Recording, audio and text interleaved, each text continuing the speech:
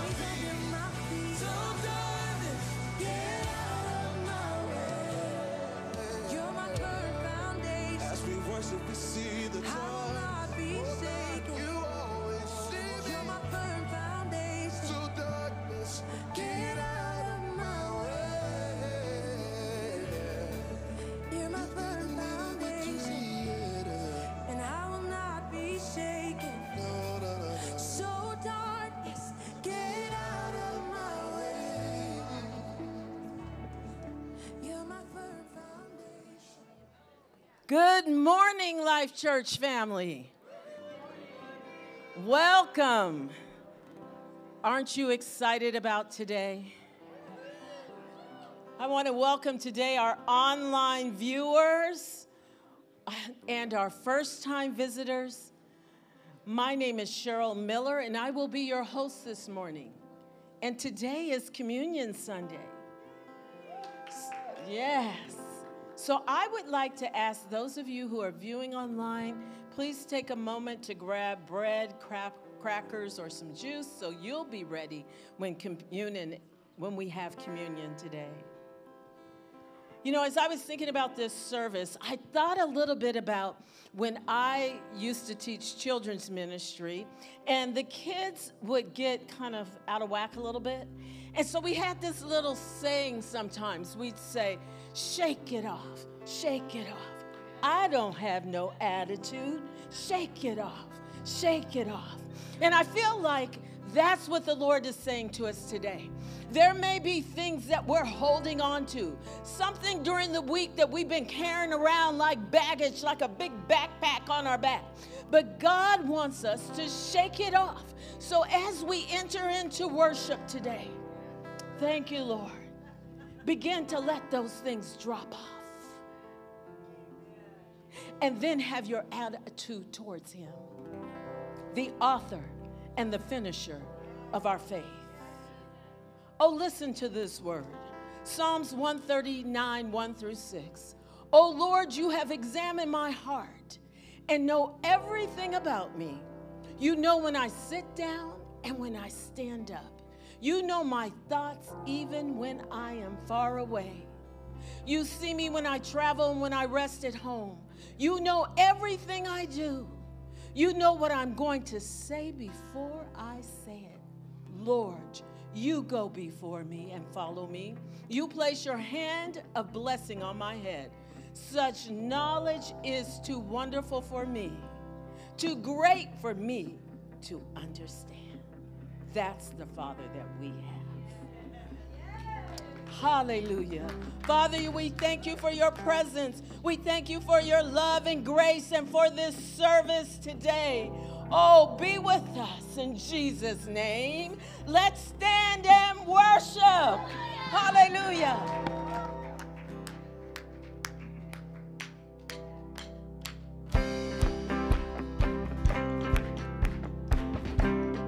feel free to get out of your seats. Feel free to come up to the front. We're just going to lift our highest praise to God. Give Him everything this morning. This is our sacrifice of praise.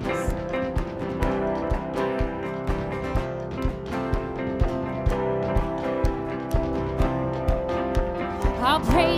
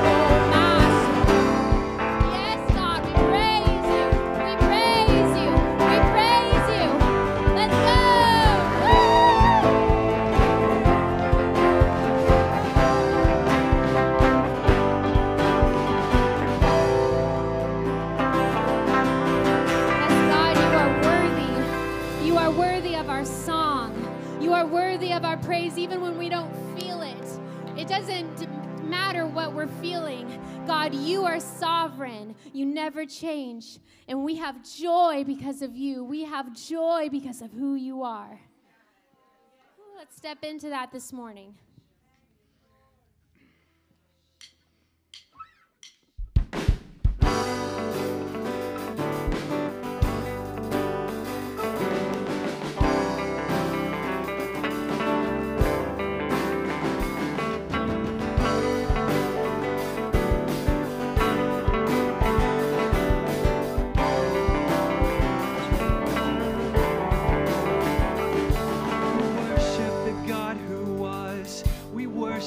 God who is. We worship the God who evermore will be. He opened the prison doors, He parted the raging sea. My God.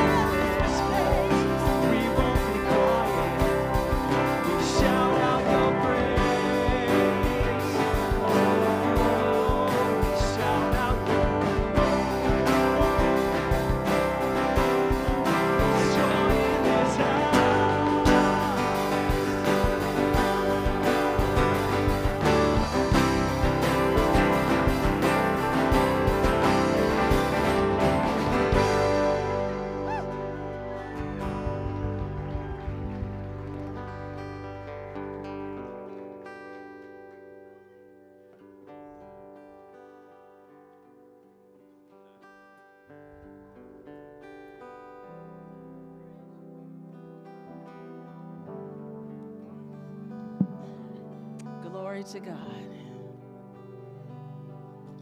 Thank you, Jesus. It's time for communion. Thank you, Lord. You know, as I was thinking about communion today, I was reminded of this book by Beni Johnson, The Power of Communion. And in that book, she talks about a song, and some of you have been around like me. You remember before communion, we'd sing a song, and then afterwards, we'd sing a song. And the song that she was reminded of is There is power, power, wonder working power in the precious blood of the Lamb. There is enough power in his blood to cancel any curse, to save us from our sins, and to heal our bodies. And that power has not waned in 2,000 years. It's very much alive. Those were Beni's words. Hallelujah. Now we're going to um, have you go into a time of gathering together. But before you do that, I'm going to read this set of scriptures to remind us of why we have communion. Matthew 26, 26 through 29, and today I'm reading from the Amplified Version. Now, as they were eating, Jesus took bread, and after blessing it, he broke it and he gave it to the disciples and said, Take, eat, this is my body. And when he had taken a cup and given thanks, he gave it to them, saying, Drink from it, all of you. For this is my blood of the new and better covenant, which ratifies the agreement and is being poured out for many as a substitutionary atonement for the forgiveness of sins. But I say to you, I will not drink of this fruit of the vine from now on until that day when I drink it anew with you in my Father's kingdom. Now I'd encourage you, two or three of you, maybe four, just gather together. Come, the elements are up front, on each side and in the back. And just take a few moments to pray with it, one another.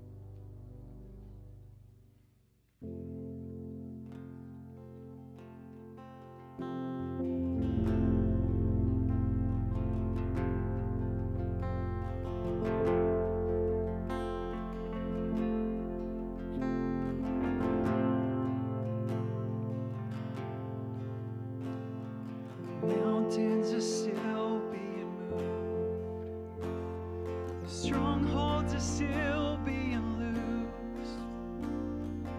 God, we believe, yes, we can see that wonders are still what you do. See mountains. Mountains are still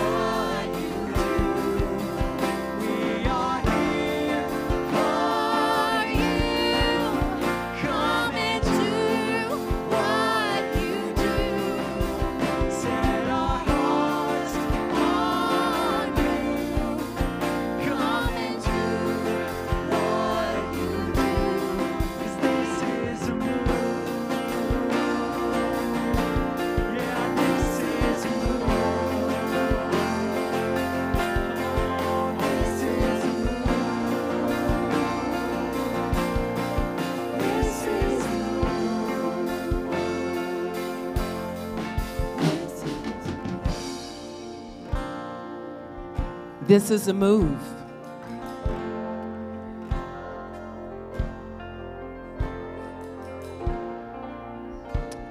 If your heart is breaking today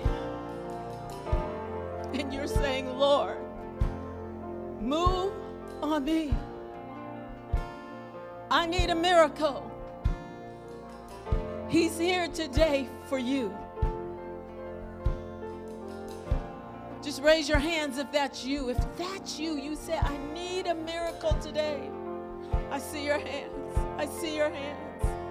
If you're around somebody raising up their hands and just need a miracle today, put your hand on them. Agree with them. Declare over them that God is here. Thank you, Jesus. Thank you, Lord. Just sing that chorus. There's a move, there's a miracle.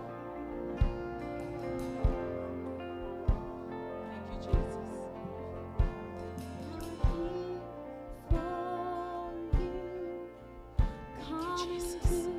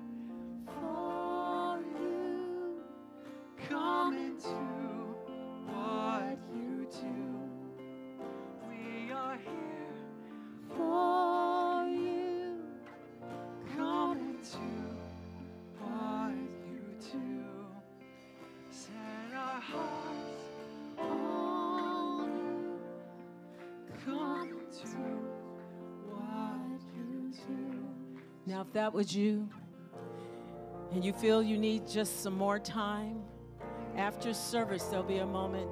You can either come to the healing teams or to the prayer teams. But don't leave today without walking out refreshed. Thank you, Lord. I'm going to read Matthew 25, 35 through 40.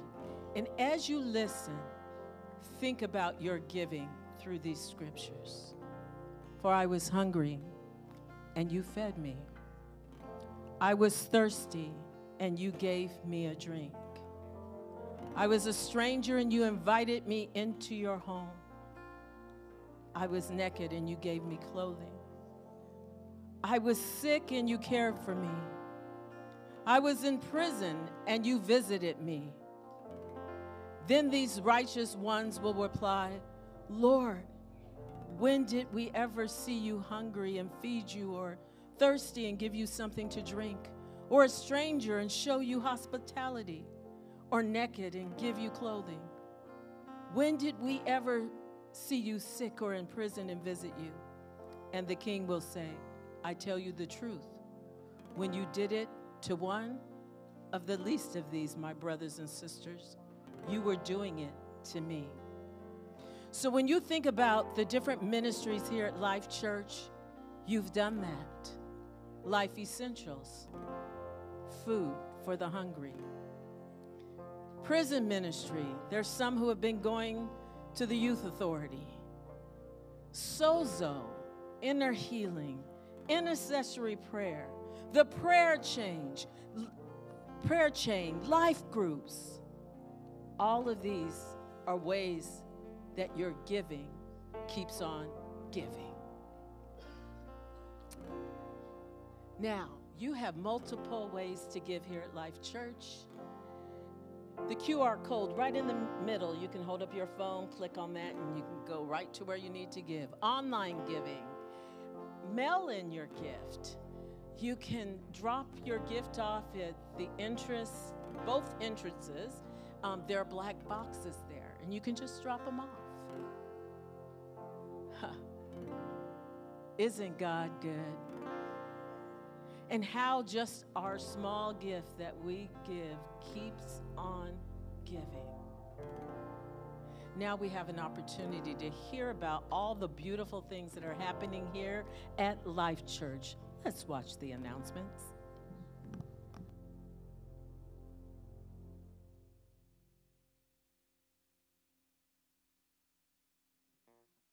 Is about raising up believers to engage their heart and equip their minds to know God and to know themselves so that they can be effective where they're called. Do you want to see what it's all about? Then you need to come to our preview night on Tuesday, the 23rd, where you'll get to experience the culture of Life School and get a taste of what this fall school year could look like. Seating is limited, so be sure to reserve your free ticket online at lifeschoolsalem.com by clicking on the Preview Night button. In a couple of weeks, we have a jam packed weekend of events that you won't want to miss out on. On Friday, the 19th, we have our Tomorrow's Champions Academy fundraiser. Details and tickets are available on the events page of our website. Then, on Saturday the 20th, we have our Worship Through Movement and Flags workshop. Please arrive by 9:45 a.m. Also happening on the 20th is our Youth Spring hiking trip. We're meeting in the Life Training Center parking lot at noon. And finally, on Sunday the 21st, we are having our usher training right after service. If you want to get involved in this ministry, then please mark your calendars for this training. Next Wednesday, the 17th, we want to extend the opportunity to anyone who feels led to come and pray through the Life Training Center. From 6:30 to 8 p.m. on the 17th, we'll be covering our future wholeness wing and the ministries that will take place in it in prayer. There will also be a chance to write prophetic words on the wall studs. No need to sign up, just come be a part of praying into what God is doing on the Life Church campus. Ladies, we need to know if you're planning on joining us for the Radiate event happening this Wednesday the 10th. Starting at 6:30 p.m. here in the upper room, we'll share dinner, good company, and we'll learn about what's happening in Salem. Let us know if you're coming by signing up on the events page of our website today.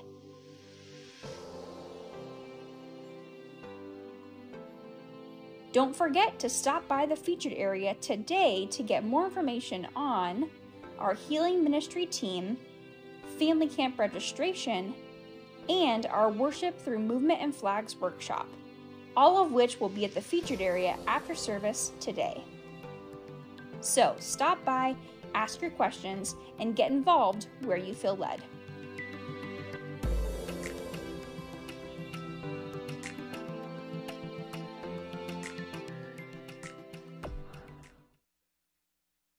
Check, check, check, check, check. All right. Morning. How we all doing? Good. It is a good morning. Um, I just gonna get everything opened up here. Um, we got a couple things though that we're gonna do this morning. Um, just some. We have some testimonies we want to share and just some things we want to highlight and people we want to pray for. So um, it's going to be awesome. Uh, first, so Pam Hannah's going to come up. She's going to give an announcement. And then after her, Gleanings. Those of you who are going on the Gleanings mission trip, Pam, you can come up. Uh, those of you going on the Gleaning mission trip, I'm going to call you up after her, so just be ready because we're going to be praying for some of our people who are going out just to serve. Amen? Amen. Amen. There you go.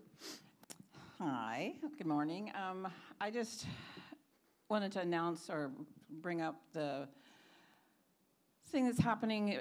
Um, it's a call for the nation, for the, it's a national call, don't mess with our kids. Um, It's happening, it's a call even happening in the world. Different, um, Peru, don't mess with our kids, tried to go in there, they shut it down. All the Peruvians came out and said, uh uh, don't mess with our kids.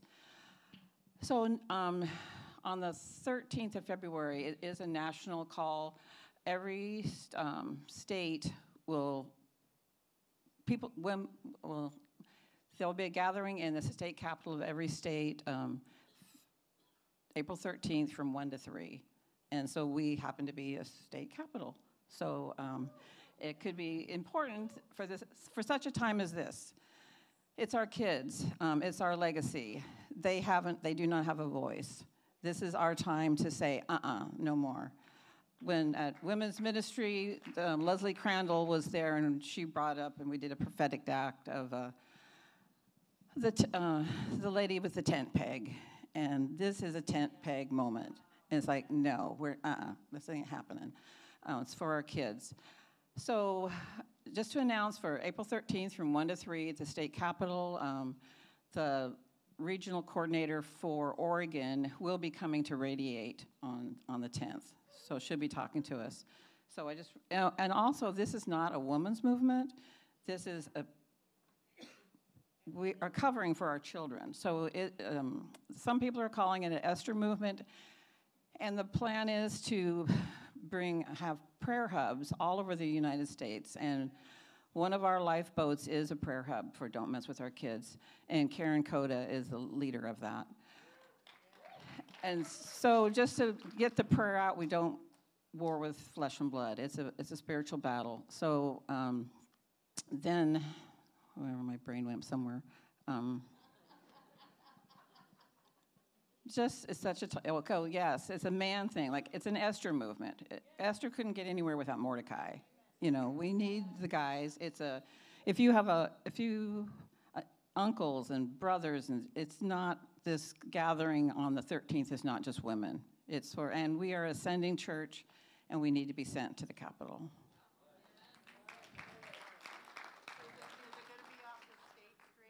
I don't know. I don't know. So if you come to Radiate, we'll know more.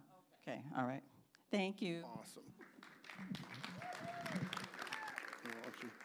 Awesome. So next, I'm going to invite the Gleanings mission trip to come up to the stage, please. Gleanings mission trip. And then leadership team, come up as well. If you're on one of our leadership teams, come up as well because we're going to be praying for these guys. So we have a group of people who are going down to California. They are going down to the YWAM base down there, Gleanings, just to work here for this. They're leaving in a week and they're going to be working for about a week down there. And they're going to be doing a couple different things. They're going to be helping make food uh, that is sent the, from this YWAM base all over the world. Um, it's gone to feed orphans and widows. It goes to feed all the different ministries that are happening. Um, and then they also get to give food out while they're down there, get to minister to people. And so we're just going to bless this trip that's leaving here pretty soon as they go just to serve and just love on people, right? So we're going to ask you just to stretch out your hands as we bless them here as they get ready to leave. So, Lord, we just thank you for this group of people. God, right now, we just release your presence, God. We just release right now just the peace of God that surpasses all understanding. We just speak traveling mercies as they go, Father, that you would direct their steps, you would direct their cars, God. You would send angels just to guide them and protect them as they go. And, Lord, we're just praying right now, even for divine encounters on the drive down, Lord, that they you would set them up with people who need to hear about Jesus, that you would set them up with people who need to hear about the goodness of God, about who you are and what you are planning to do. We bless their hands as they work, Father God. We bless everything they put their hands to, and we declare that it will prosper, that it will bless people. And Lord, we're believing that this is going to change lives right now. Not only their lives, Lord, but the, everyone who they encounter, Father God. So we just release the presence of God and we send them out covered, we send them out blessed, and we send them out empowered to bring the kingdom of God wherever they go. In your name, Jesus. Amen. Amen. Yeah. We just want to remind you here as they go, be praying for them, right? Oh, come on, church. That was horrible. They feel so encouraged by that. Come on, be praying for them, right? Yeah. Come on, come on y'all. What you trying to do right now? Be praying for them. Give them some love and some encouragement. So, um, they're, they're leaving. They don't leave this week, they leave next week. Um, and they're going to be gone from, they're going to be down at Gleanings from basically the 14th to the 19th. But just be praying with them. It'll be in the email so you can see it. We'll send out a Facebook reminder. We want you lifting these people up, covering them in prayer as they are going and as they are serving.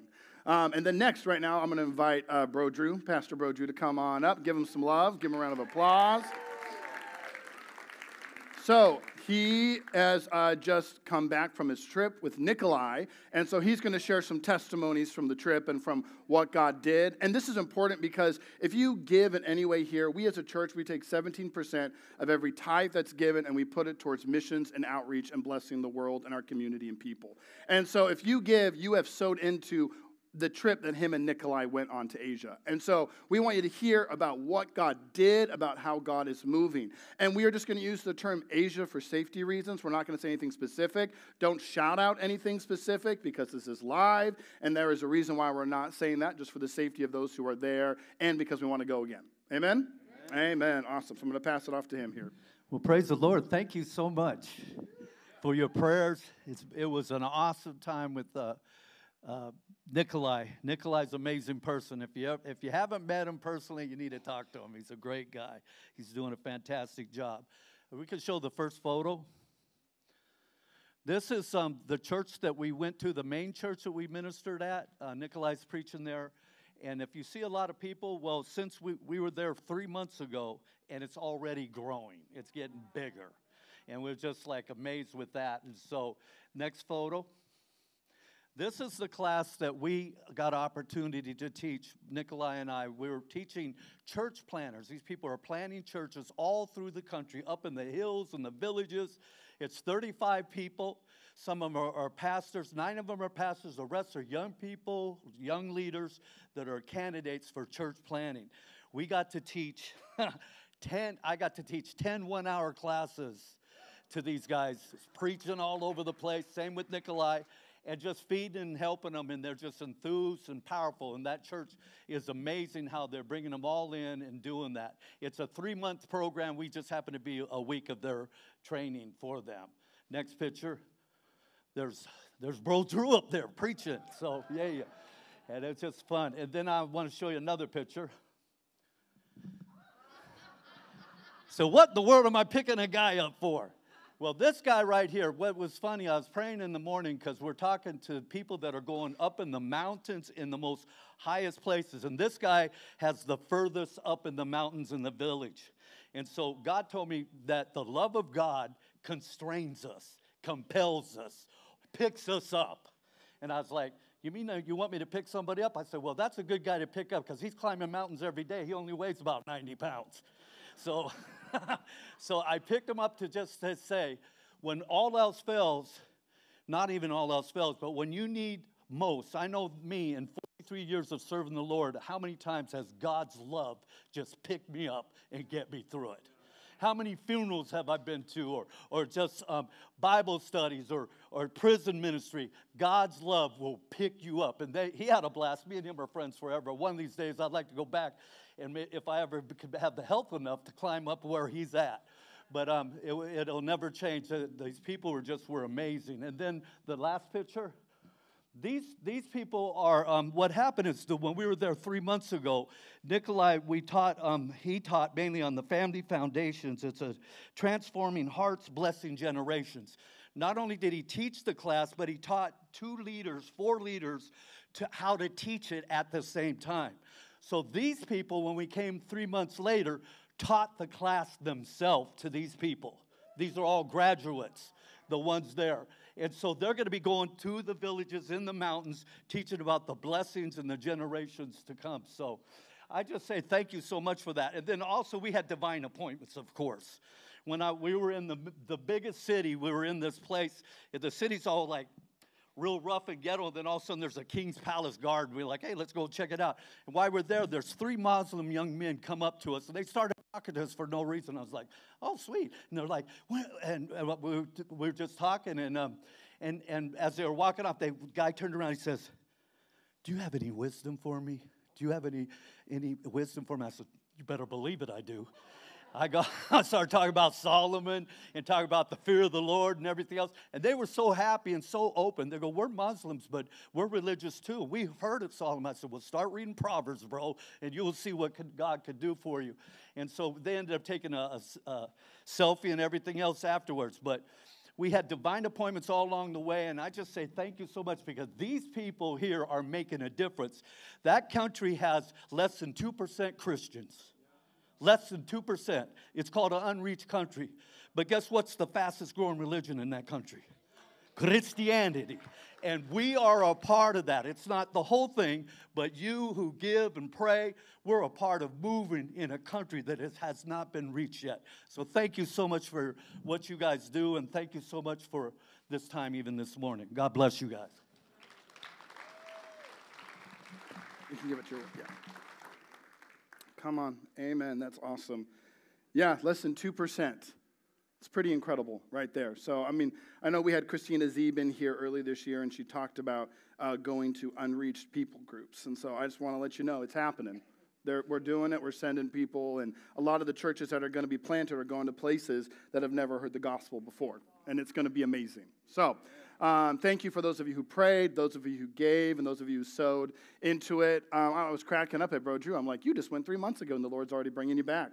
So, um, I just want to encourage you too, and we've said it before. But if you don't have your passport yet, get your passport ready. Just be ready for what God wants to do uh, where God wants to send you, what opportunities are going to come up, because I believe there's going to be more and more. Amen? Amen. So we're going to pray this morning. We're going to pray for another church here in our city, and we do this every week. So this is your first time. We take time every week to pray for a different church in our city or our region because we want them to be blessed. We want them to be filled with the power of the Holy Spirit, and we want to see God move, not only in our church, but in every church in the area. Amen? Amen. So I'm going to pray right now for the First Congregational Church. Stretch out your hands with me this morning. Lord, right now, we just bless the First Congregational Church. Father God, we declare right now that you are doing a new thing in their midst, Father God. Lord, that there is new life that is being released, Father. And Lord, we declare that any desert season they have had is over right now. We just declare that there is a river of life that is being released into their congregation for what you are calling them to do. We bless our brothers and sisters right now, and we ask that you would pour out your love, your grace, and your mercy upon them. In your holy name, Jesus. Amen. Amen. All right. Everyone have a good Easter? Woo! You know, I'm going to tell you what, I got to see the competitive side of my child come out this Easter that I've never seen on that level, and it was, it was beautiful and terrifying all at the same time. Um, so he is. It, it's, it's biological. I blame, my, blame myself. Um, but I just want to say thank you to, um, to Nathan, to Victoria, to Don for preaching uh, these last three weeks. They all did a phenomenal job. And today I'm going to finish up our series on building. We're going to kind of wrap it up here before we move on to the next thing. Because we've been in this series on building, not only in the sense of that we are physically working on our building down below, but also how are we building the people God is bringing? How are we building even personally of ourselves, of what God is calling us to do? Because we are all builders. We are all called to build the kingdom of God. So I'm getting a little ring. Am I getting an echo here on it, or is it just me who's hearing it? Um, so um, Nathan did a phenomenal job a few weeks ago. He talked about uh, the king, kingdom-minded people build with eternity in mind. Um, which was phenomenal. It was three weeks ago. If you didn't hear it, you should go hear it. He talked about Nehemiah getting the word and being discouraged to even start, um, and how we are open handed with everything that we're building. He even made a crazy comment about us putting animals in the wholeness center if the Lord asked us to do it. If you weren't here, you should go listen to it. I'm not planning on opening up a zoo, but you know, the Lord has, has his way, right?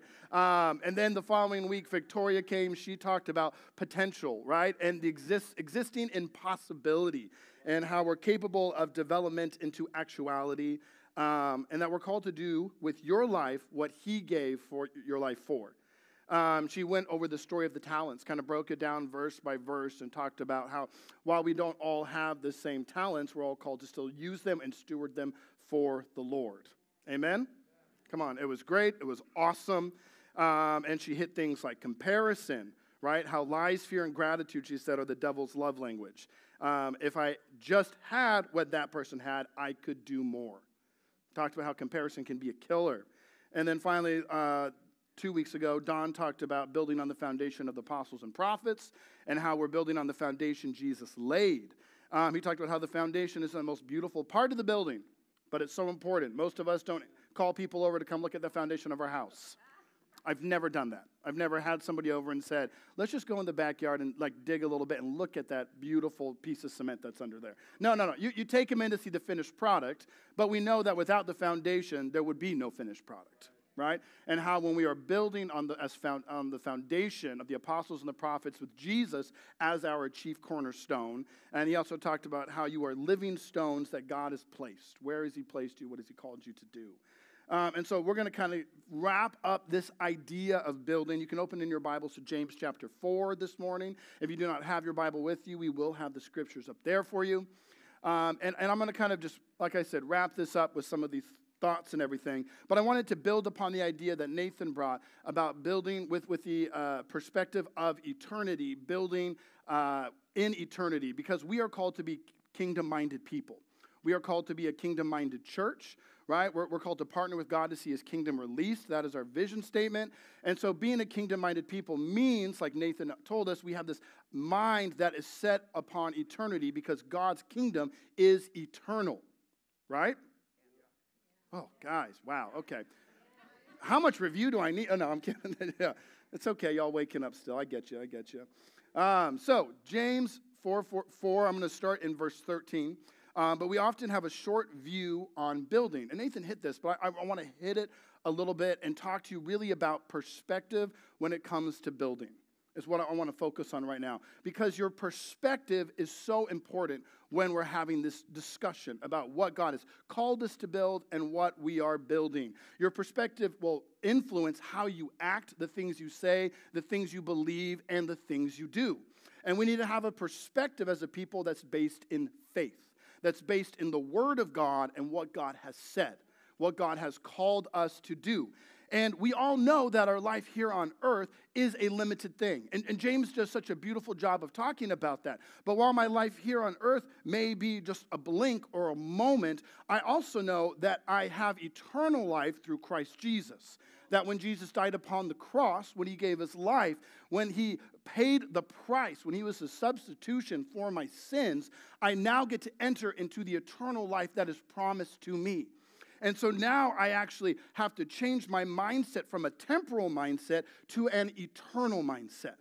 And so James 4 kind of even highlights a piece of this when he says, Look here, you who say, Today or tomorrow we are going to a certain town and will stay there a year we will do business there and make a profit.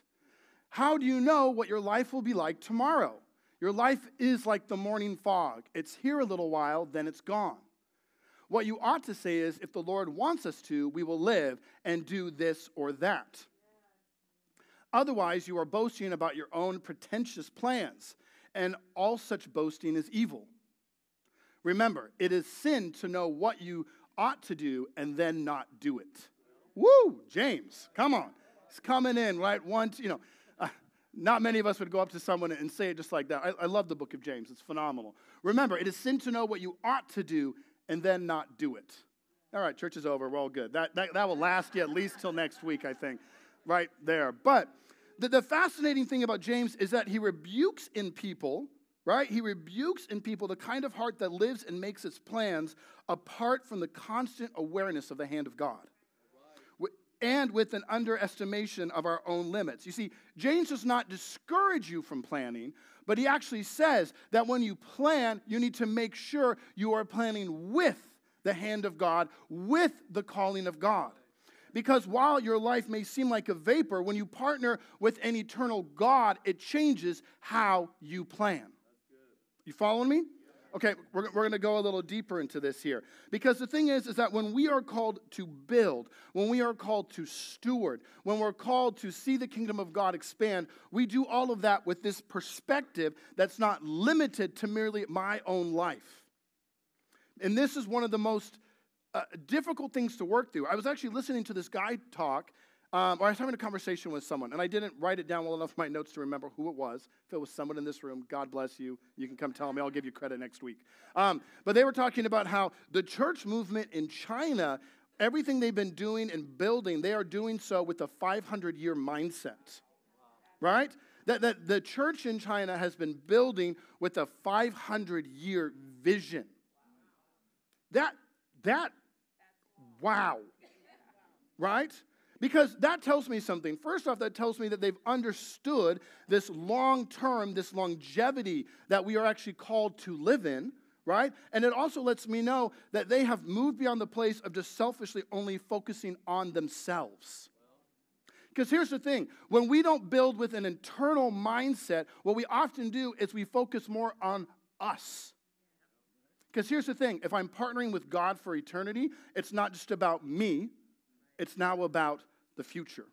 It's about the kingdom. It's not just about me and my kids, it's about the next generation. You see, there's this mindset shift we need to do when we're talking about building, where we move from the place where it's only about here, and instead it's about, okay, I'm partnering with heaven to see the kingdom of God come. I know the kingdom is going to be without end. So everything I do is not just for this moment, it's for eternity. You following me? All right. So it's for eternity. Here's the thing if you only had a day to live, would you live with purpose or would you throw that day away? Of course, you would do something with that, right? But most people don't live with purpose for their life. If you only had a day to live, how would you change from how you're going to live tomorrow? Because I don't think you would just throw it away right? I mean i would go and spend time with my children with my wife. I would do i would call the people i love. I would probably have a level of boldness that would frighten most people if i only had a day to live right? I mean let's just be real.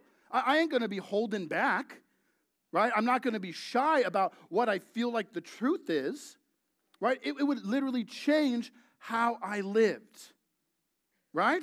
You follow me on that? Here's the thing right we, we, I think a lot of humanity is fascinated with this idea. There's TV shows about it, movies about it, about what people do when they only have so much time.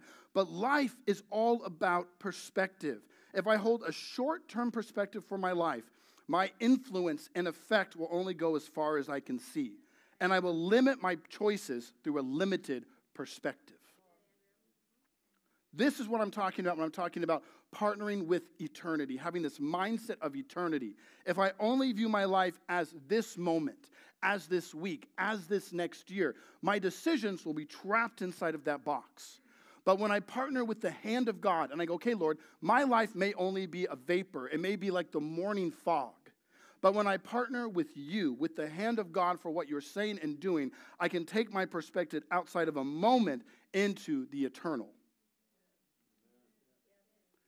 How would your decisions change if you partner not just for the now, but for eternity? Would you be more willing to witness to people and be honest about who Jesus is? Here's the, even the, I think, the larger side of it. If life is truly about this perspective, like I said, right, I, I think it would affect not only how I lived, I think it would affect how I prayed. Am I praying in this or am I praying from heaven for this? Right? And we know that Jesus actually even highlighted this because in Matthew 6, when, the disciple, when he's teaching the disciples how to pray, he actually does this, right? He says, Whoa, that's a little hard to read. Our Father in heaven, may your name be kept holy. May your kingdom come soon. May your will be done on earth as it is in heaven. Give us today the food that we need and forgive us our sins as we forgive those who sin against us. And don't let us yield to temptation, but rescue us from the evil one. You see, even Jesus is beginning, go back to the, the very first slide of that. Even when he's teaching them how to pray, he says, Our Father in heaven. Right there, that, that is two different distinctions about eternity. Our Father, who is an eternal God, who always was and always is and always will be. And then heaven, an eternal place you see, Jesus even teaches his disciples to pray with this mindset and this idea, not just on the moment only, but partner with heaven for eternity. And he doesn't downplay the importance of what you're going through, because even then he tells us to ask, Give us this day our daily bread. So he cares about where I am at. He cares about this moment. He cares where I am. But my prayers do not stay in this moment, they stay with him in heaven, and I partner with him from heavenly places to release heaven upon earth. How would you pray differently if you were partnering with eternity? Do you just pray for your kids? Do you pray for your kids' kids?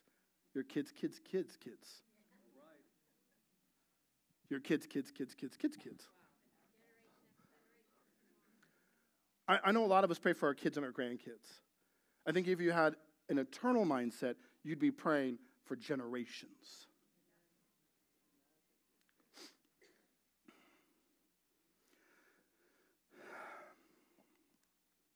I think if we had an eternal mindset, it would change our ability to endure hardship that we know comes with life. John 16, 33, right? Tells us that I have told you all this so that you may have peace in me. Here on earth you will have many trials and sorrows, but take heart because I have overcome the world. Here on earth you will have many trials and sorrows. How many of you have ever had a trial or sorrow in your life? Come on. You know, my, my poor four year old, he acts like he has a trial and sorrow every time I get him out of bed. God bless him, right? When we can't decide what to eat in the morning, right? Like we will have trials and sorrows. Here's the thing when I walk into a trial and sorrow with a narrow perspective only of the temporal, of the moment, it can become all consuming. We've all been there, right? Some of you have even probably had trials in this last week that literally consumed all of your, I mean, everything was about what was going on. And that's very hu- humanistic. That's very normal for us as humans. But here's the thing when I invite the kingdom of God, when I invite Jesus to step into that moment, it changes my perspective from that this is an all consuming thing to this is just a moment in eternity.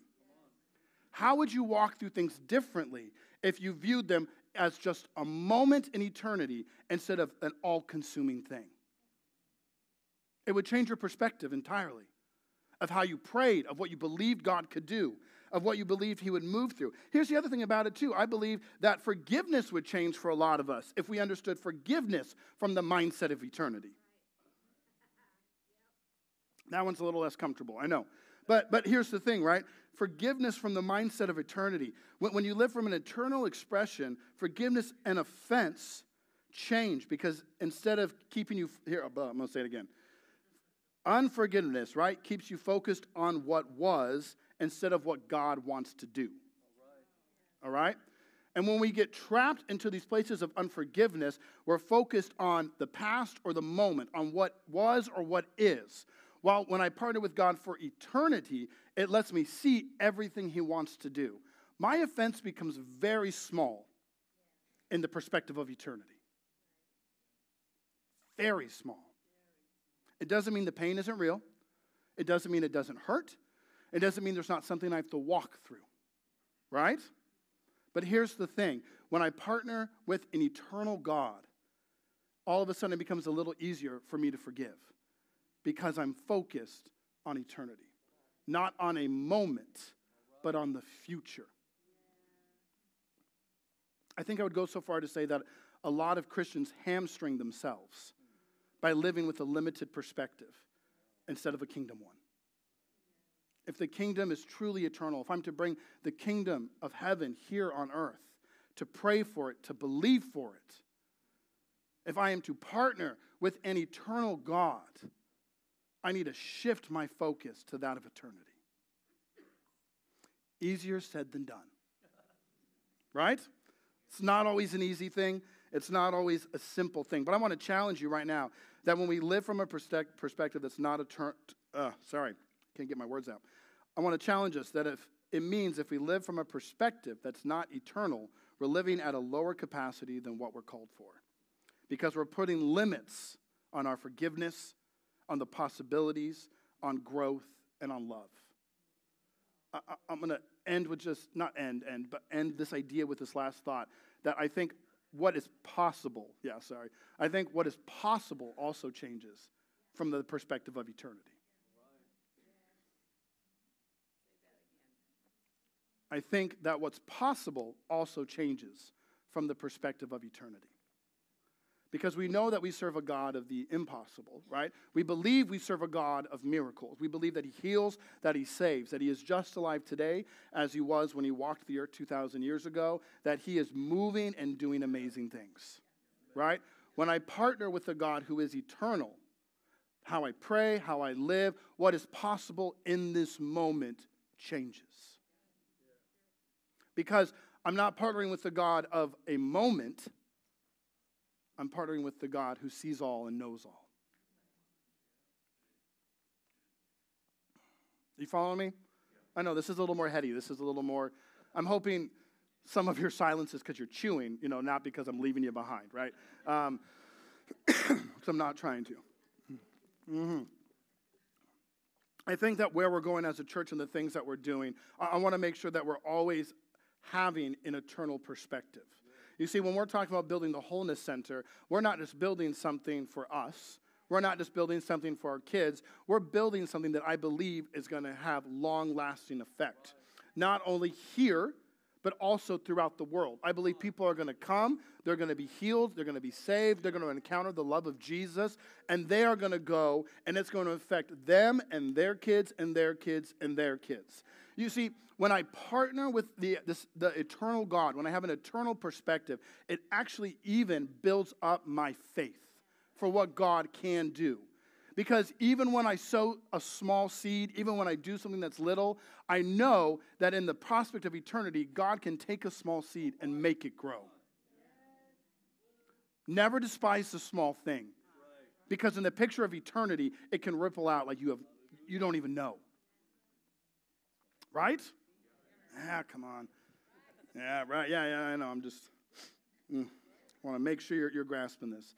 So we build with the kingdom, we build with an eternal mindset, this eternal perspective. And, and here's the last thing I'm going to say about th- this idea. When, I'm building with eternity in mind, right, I, I do it when I, I'm trying to do it right now with every aspect of my life. I'm going to give you a very simple example, but hopefully it'll help you grasp this. Not only do I try to do it when I'm praying, I'm even trying to do it with how I raise my children. All right, so I'm talking even on the practical side of it. I felt like the Lord was challenging me the other day um, because our, our wonderful son was, was challenging me. And he was being he was being his wonderful four year old self, right? He was having an opinion about something and decided to throw a fit, you know, and God bless him. Um, I just, it was just one of those days. You know, when you're tired, you're already kind of stressed, you're over everything, and, and you're just in this moment with your child and you're trying to be like, I'm trying to help you, you know, like listen to me.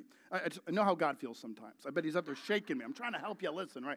And so I, am in this moment and I'm trying to love my child and discipline my child. And, and I felt like God actually was challenging me in this moment with Him because I felt like God was telling me, uh, right now, what you're trying to do, right? Are you dealing with this from this, this, this um, in this moment or are you dealing it with the idea of eternity? Because what you're doing right now, if, if I'm focusing on just dealing with this problem in this moment, instead of with the idea that what I'm doing is leading him towards the Lord. That everything I'm doing with him right now is not just because of an outburst. It's because I know the callings of God upon his life. It's because I know that God loves my child, that God has a plan for my child. And so I don't look at discipline as a mere moment, or I'm not I'm not issue driven in it, right? I'm not like, we just got to deal with this issue. No, I'm saying that by me disciplining you, I'm going to partner with the Spirit of God because I know that what I'm doing is going to lead you to the Father. I know that what I am doing right now is going to point you to Him. And by me pointing you to Him, your kids are going to be pointed to Him as well. By me pointing you to Him, your children and everyone they encounter is going to hear about the love of God right? You see, an eternal mindset is not an issue driven mindset. Do we talk about issues? Yes, that is important. But we're not driven by even issues that are around us because I partner with heaven in order to see a long term effect happen. Do you understand that? How I'm disciplining my child is even shifting in my mindset a little bit because it's not just about the struggle in the moment. And, and that's, once again, it's a really easy thing to stand up here and say, all right? In the moment when your child is screaming and having a meltdown, come on, parents, right? We all know. It's a little different, right? You're praying in tongues like you've never prayed in tongues before. You're, you're believing that, you know, something's going to happen. But let's even go further with that, right? That means with my finances, right? I am not just focused on the now with my finances. I want to partner with heaven for every dollar that comes into my hand. God, when I sow this, you're going to do something. When you tell me to give, to be generous, to be extravagant, What seed am I planting for the future? For my job and my coworkers, my interactions with them are not just about what's happening. I'm actually going to partner with heaven, have an eternal mindset that what I am doing at my work is sowing seeds for their future. Are you following me here? Okay. Good, I hope not. If not, it's on YouTube. You can go watch it again, you know. If, I, if I'm really missing it, I'll have someone else make, make some more sense with it. So, so this whole idea that this is what we're doing, we're building from eternity, right? The last thing I want to look at here is Nehemiah. And Nathan talked about the beginning of Nehemiah a little bit. I'm going to go a little later into Nehemiah 4. So you can turn in your Bibles right now to Nehemiah 4 because the other thing that we're doing is when I'm building with this eternal perspective, this eternal mindset, challenges do come along the way. Right? And we read even that scripture right in First John. We know that there are trials and tribulations. We know that things can come against you when you are being faithful to build and do what God has called you to do. Nehemiah, I'm going to say it again. It's verse uh, chapter four. I'm going to start in verse six, and we're going to kind of jump around there a little bit. Um, but in what we're doing right now, and what we're building down below, and what we feel like God is calling us to do to build as individuals and in our families, right? I, I was finding so much encouragement in Nehemiah. so let's read this right now. At, the, at last, the wall was completed to half its height around the entire city, for the people had worked with enthusiasm. But when Sanballat and Tobiah and the Arabs, Ammonites, and Ashdodites heard that the work was going ahead and that the gaps in the wall of Jerusalem were being repaired, they were furious. They all made plans to come and fight against Jerusalem and throw us into confusion. But we prayed to our God and guarded the city day and night to protect ourselves. Then the people of Judah began to complain. The workers are getting tired, and there is so much rubble to be moved. We will never be able to build the wall by ourselves. Meanwhile, our enemies were saying, Before they know what's happening, we will swoop down on them and kill them and end their work. The Jews who lived near the enemy came and told us again and again, They will come from all directions and attack us. So I placed armed guards, I being Nehemiah, behind the lowest parts of the wall in the exposed areas. I stationed people to stand guard by families, armed with swords, spears, and bows. Then, as I looked over the situation, I called together the nobles and the rest of the people and said to them, Don't be afraid of the enemy. Remember the Lord who is great and glorious, and fight for your brothers, your sons, your daughters, your wives, and your homes. When our enemies heard that we knew of their plans and that God had frustrated them, we all returned to our work on the wall. But from then on, only half my men worked, while the other half stood guard with spears, shields, bows, and coats of mail. The leaders stationed themselves behind the people of Judah who were building the wall. The laborers carried on their work with one hand supporting their load and one hand holding a weapon. All the builders had a sword belted to their side.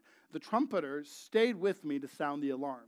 Then I explained to the nobles and officials and all the people the work is very spread out, and we are widely separated from each other along the wall. When you hear the blast of the trumpet, rush to wherever it is, uh, where it is sounding. Then our God will fight for us. We worked early and late, from sunrise to sunset, and half the men were always on guard. I also told everyone living outside the walls to stay in Jerusalem. That way, they and their servants could help with the guard duty at night and work during the day. During this time, none of us, not I, nor my relatives, nor my servants, nor the guards who were with me, ever took off our clothes. We carried our weapons with us at all times, even when we went for water. So many things in there. I'm just going to pull out a couple things I really felt like the Lord was highlighting to us. Um, and I was really thinking have you ever had a moment where you've thought, this is harder than I thought it would be? Because I think the interesting thing is that in the beginning, and earlier in this chapter, uh, and I think it's verse 4, the, what the enemy did was the enemy sowed confusion. And that's what they did. And Nehemiah even says they're trying to confuse us. That in the beginning, when they were starting out, the enemy came with confusion. And then when they were halfway there, which is so interesting to me, halfway there, then the enemy came ready to attack with swords and with weapons. I want to encourage you right now that as we're talking about building, as we're having an eternal perspective on what we're doing, often the enemy doesn't come at you just at the beginning. He also comes at you when you feel like you've made progress and you're partway there.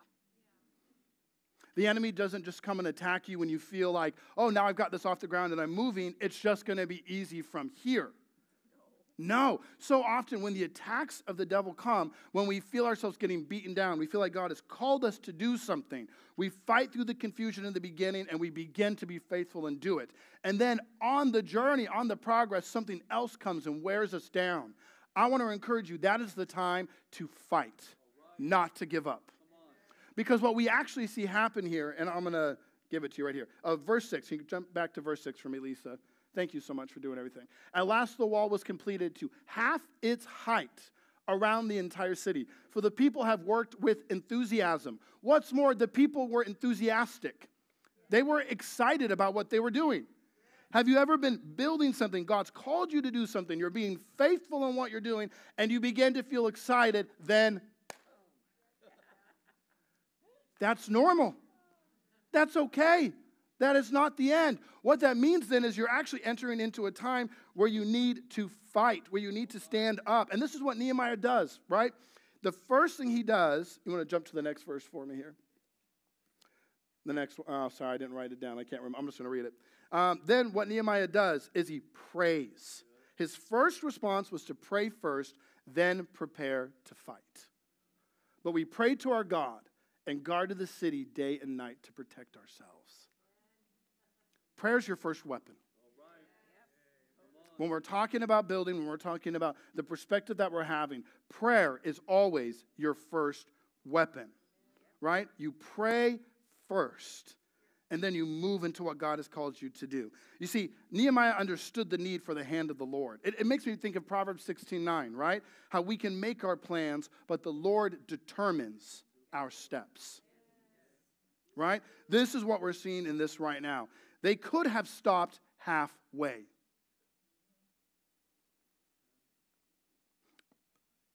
They could have stopped halfway. They could have said, We made some progress. I did something. Halfway is better than no none at all. I mean, come on, we've all been there, I think, ourselves, right? Well, I tried. I did my, you know, I really just want to encourage you right now. Where I feel like God is taking us as a church, we can't stop halfway with where I feel like we're, what we're called to build and sow into. When I'm talking about the Wholeness Center, when, when we're looking at the ministries of Life Church, when we're talking about uh, tomorrow's Champions Academy, the um, elementary school that's exploding here, there are so many things happening here. None of them can be stopped halfway. None of them can be stopped just because we hear that the enemy is coming. Because here's the thing, too I think the enemy loves to attack our assignments to build. And Nehemiah, what does he do? He releases a prophetic word in verse 14. Right? He releases this prophetic word. And it says, Don't be afraid of the enemy. Remember the Lord, who is great and glorious, and fight for your brothers, your sons, your daughters, your wives, and your homes. Nehemiah had this generational perspective that I think was tied to eternity because he knew they weren't just building for them in this moment, they were fighting for the future of Jerusalem. When God gives you an assignment to build, to do something, I want to encourage you right now, you don't stop halfway. Sometimes I think what you need to do is, I'm going to read this, I want to make sure I say this right. You, you, we need to understand that sometimes the strategy needs to be adjusted, but the vision never changed. The strategy needs to be adjusted, but the vision has not changed. Because what do we see happen for them, right? In verse 23, it says, During this time, none of us, not I, nor my relatives, nor my servants, nor the guards who were with me, Eve ever took off our clothes. We carried our weapons with us at all times, even when we went for water. We even read the verse, right, where they built, right? They were building with one hand and they had a weapon in the other hand. Did that possibly slow things down? Yes. Have you ever tried to build with one hand? Usually I'm holding a toddler in the other hand, you know, but it slows things down, right? It wasn't that the vision had changed, but their strategy had to change in the season they were in. I, want to encourage you right now if you're going through something. I want to encourage you right now if you feel like something is attacking the assignment the Lord has given you. It's not that your vision needs to change, it's that your strategy needs to change. Maybe you build in one hand and fight with the other. Can you stand to your feet this morning?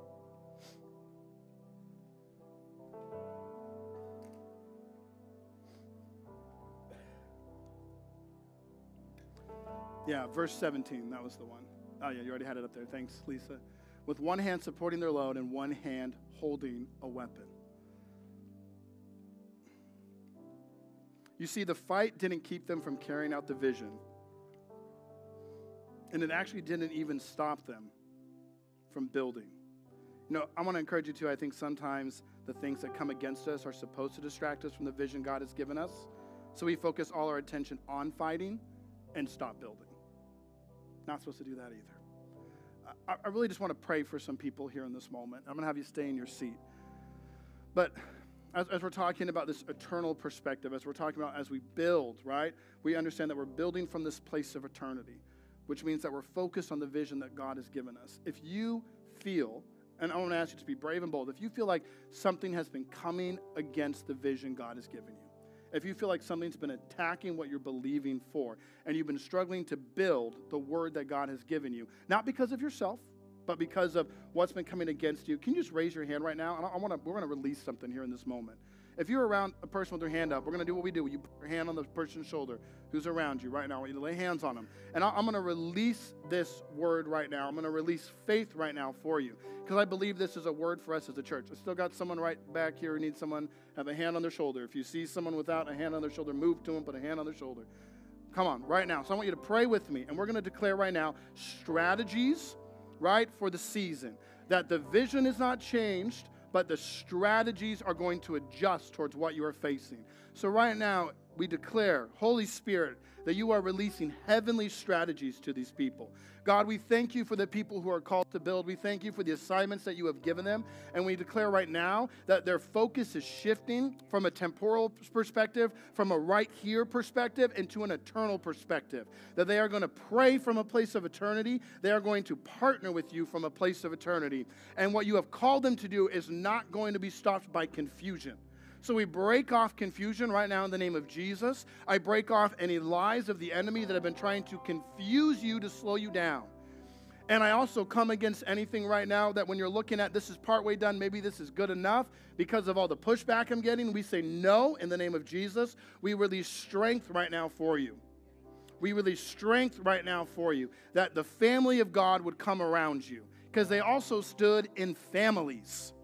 And so, right now, as your brothers and sisters, we lift up your arms and we declare you are not alone in what you are building. Come on, say it over them right now, people. You are not alone in what you are building. You are not alone in what you are building. Come on, I feel like I'm supposed to break something off right now. So, right now, we break off the spirit of isolation. We break off the spirit that is the lies of the enemy telling you that you are alone. I, I just feel like that's a lie right now, that some of you have really been dealing with that, that I am by myself in this. In the name of Jesus, we say no to that lie. We declare that your brothers and sisters right now who are around you are lifting you up. You are not alone in this. Come on. And so, right now, we release the truth that when you were adopted, when Jesus paid the price, you were adopted into a family. You have brothers and sisters in Christ. You are not called to be walking by yourself, but surrounded by those who are with you. Because just like it tells us in Ecclesiastes, right? Two are better than one. There's a better return for their labor, and if one should fall, the other is there to pick them up. So we just declare that right now. Name of Jesus. Mm. Yeah. Sorry, that wasn't planned, but I just felt the Holy Spirit moving on that one. Um, prayer teams, I'm going to invite you up right now. I, I want to encourage you that if you need some more prayer this morning, if you want prayer either for what I've been talking about, or if you would like also prayer for healing, we're going to have people up here who want to minister to you. Church, listen, I know, I'm sorry. You're a little distracted right now because I, I kind of gave you some freedom, and now we're, woo, it's where the Spirit of the Lord is, right? We're all going to run. This will be great. I, just, I want to encourage you right now if you need prayer for anything, come get prayer right? Where two or more are gathered, there the Spirit of the Lord is as well. Do not even be laboring in prayer alone. Come forward. We're going to have people here who want to labor with you for what God is doing in your life. Amen? There is no prayer request too small. There is nothing too small. So we're going to have the healing prayer chairs over here, and we're also going to have prayer people just lined up. I want a few more prayer teams. I want a few more people who are going to be here ready just to pray and bless you. I'm going to invite Cheryl just to come up here right now, and she's going to close us out um, as we leave.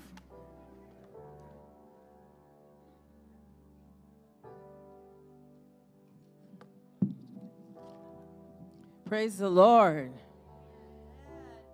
Good word, as always. I love that power of forgiveness. I don't know if you caught it during that service, but there's power in that. There's some um, announcements you need to remember. Family camp booking will be in the back in the featured area. And if you want to join the healing prayer team, they're looking for volunteers and they will also be in the back. And if you want to sign up for the Intro to Worship with Movement and Flags workshop, they will also be in the featured area. Now, it's important to testify. Someone came last week and attended the prophetic sessions before service. She had a headache, and during the session, it left. So, if anyone out there who has headaches, they don't just whoop. That's a miracle from God. She felt the peace of God, and as she was being ministered to as well. Now, if you're a first time visitor here at Life Church, please join my husband, Bro Drew, in the back and get a gift that we have for you for coming today. Are we going to all now think with an internal perspective and fight and not give up when we know we're following that vision that God has given us? Let that be what you think about and ponder this week. Father, we thank you for this service. I pray that every word spoken today has fallen on good soil and will grow. Woo! And visions. People are going to have visions and dreams. I'm so excited what's going to happen. But blessings on you for this week. Keep your head up. Keep an eternal perspective. Don't give up. Keep fighting for your future and for your those who come after you, your children, your great grandchildren. Oh, God is so good. Have a blessed Sunday and week. In Jesus' name, amen.